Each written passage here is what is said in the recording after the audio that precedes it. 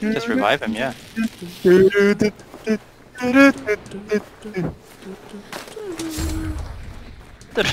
Whoa! run, just run.